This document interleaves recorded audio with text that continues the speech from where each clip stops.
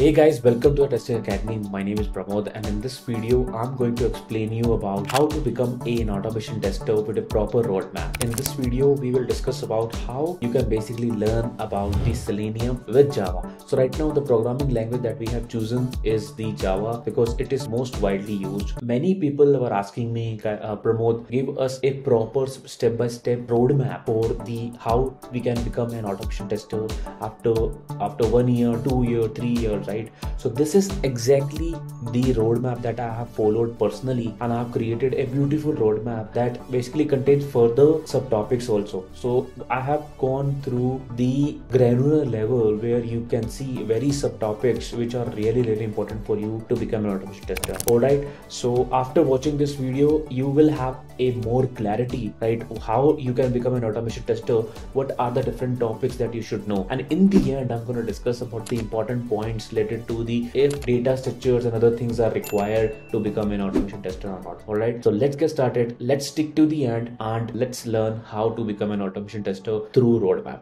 All right so let's get started. This map that i have created right it basically is divided into the five parts importantly okay? And i won't go in too much details but i will give you a proper structure how you can basically can go through the step one step two step three and what will be your action plan. So to become an automation tester i think only three to four months is enough where you can basically go through the all the topics and these topics you can just note it down or you can research by yourself how to learn those topics all right so we will start from the core java first. Okay so core is really important because I have told you right this automation roadmap basically focus on the very important programming language which is Java which is widely used right now. And uh, out of for example suppose we have like 10 jobs 7 jobs basically want Java. That's why we are basically sticking with the Java right now. And if you see I have basically further added other things also. For example in core Java what are the different topics that you need to learn? For example what is Java? Java polymorphism, platform memory allocation and further more right? We won't go in the more details but you are get, getting getting the point what I wanted to say.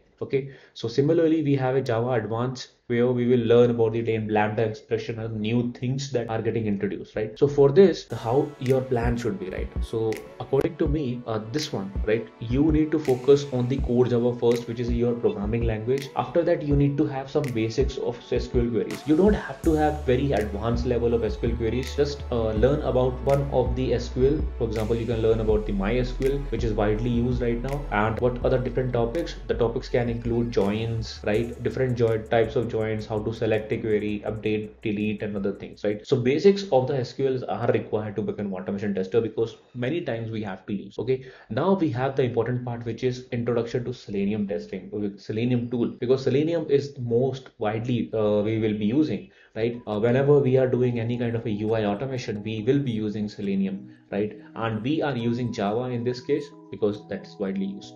So we have uh, basics of selenium. We have as basics uh, we have advanced concepts. After that we will move towards the selenium grid. Selenium grid basically where you will now suppose you have almost like 500,000 test cases right? How will you execute them in multiple browsers? How will you manage your threads right? How will you basically reduce the time right? All the things that you will learn here and after that you will create your own automation framework which will help you to basically any new organization where you will go right? You will basically can uh, create this automation framework and use it right? And we will use a test framework called as testng which is widely used and the build platform which is maven right now. I think these are enough topics. For example it will take almost like 1.5 months to 2 months to learn all the topics. If you learn one hour a day right? This is what you have to do. So you have to do a commitment of one hour eight day and you can learn till now okay? So in two months you are going to finish the selenium core java as well as the testng and the maven right? And afterwards you have to go like this okay? Now you need to learn about the cloud infrastructure also because most of the companies right now are using uh, cloud selenium grids like browser stack Sauce Labs which will help you to scale your test cases right? Now you need to learn about the ci cd tools like jenkins where you will basically do the automation of your build execution right? You will have the reports added. You will have uh, excel working on the excel file log4j these are some extra utilities capabilities that you will going to add to your automation framework. After that, you can learn about the page object pattern also, where I think page object pattern and automation framework you will learn side by side. So those things are important. And the Git, which is again the part of a CI/CD pipeline, right? Now, in the end, you are going to build your own framework from the scratch, which will basically give you a confidence. I think till now here, almost like two and a half months are finished. Where if you are giving one hour a day, and now you are ready. I think you are ready now to give start giving the interview, and you can also include Cucumber BDD because many companies are already implemented it and using it. And now you have to start your interview preparation and start giving the automation testing interviews. Okay, so I think uh, this plan goes around for two to three months or three to four months almost, uh, depending upon how much you are putting your efforts. For example, if you're putting two hours a day, three hours a day, right? Basically, you can squeeze it to the 1.5 month to the two month also. Okay, so now let's come to the very important point which uh, you guys are interested to know. So important point to become an automation tester. So people are afraid that there is a heavy use of DSA, which is data structure algorithm is required to become an automation tester. With my 10 years of experience, I don't think so guys. We don't use heavy data structures like tries or binary trees. Only uh, I would say important uh, data structures like collections, right? Basics of collection, hash map, hash tables are enough. Most of the time, almost like 90-95% of the time, they will basically give you the whatever the automation that you wanted to do. All right. Similarly, for example,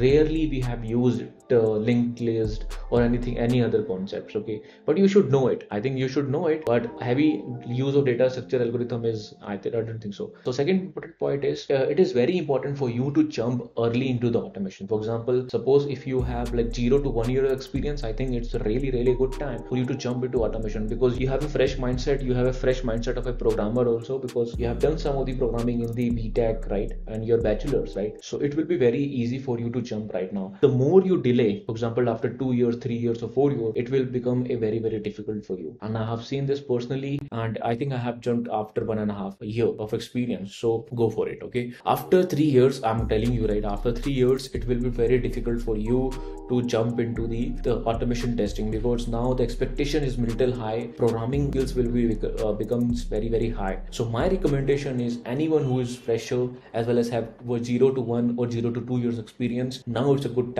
for you to prepare for three to four months. Follow this roadmap and start contributing or start becoming the automation tester. All right, trust me, it will help you a lot. Nobody nobody will talk about this. Uh, and I think I haven't I haven't seen any video where people are telling you about how early you should switch to the automation. Right, so this is the right time. And now another interesting thing that I have seen is. Uh, in some companies they need heavy DSAs. Uh, sometimes they have a very core logic that they want to automate, but uh, rarely, rarely I have seen that people are using data structure algorithms. Okay, so I hope this makes sense, and the roadmap is already available in the description also. I hope this will help, and I think this one I have used it personally. So let me know if you want more details. Type part two in the comment. I'll create a part two of the video where I will discuss about the more important topics and what are the things that you should know, how to prepare for an automation interview also right? Just type part 2 in the comment and make sure you give it a like and subscribe. I'll see you in the next video. Bye